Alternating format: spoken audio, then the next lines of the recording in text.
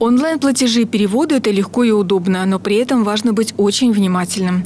Мошенники тоже освоили новые технологии. Эксперты напоминают, что сотрудники кредитных организаций никогда не просят сообщить им коды и пароли.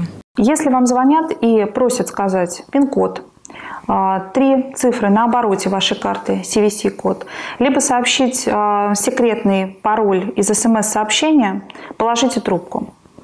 Если вам поступил звонок и говорят о том, что ваша карта заблокирована или по вашему счету проведена подозрительная операция, прервите данный разговор. Чтобы выяснить все подробности финансовой операции, в банк нужно позвонить по телефону, который необходимо посмотреть на официальном сайте финансовой организации. Лучше не перезванивать на тот номер, с которого вам поступил звонок, поскольку мошенники научились подделывать такие номера.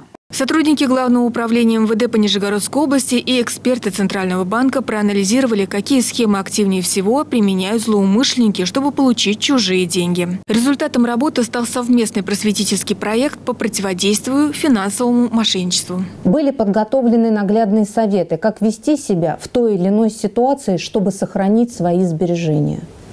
Полиция просит прислушаться к рекомендациям и довести их до старшего поколения своих семей, друзей и знакомых. Преступники делают ставку на невнимательность и доверчивость людей. Поэтому элементарные правила кибербезопасности следует помнить и соблюдать всем без исключения. Если злоумышленникам все же удалось обмануть вас или ваших близких, обратитесь в правоохранительные органы. Елена Грицкова, Сергей Рябов, Служба новостей Саров 24.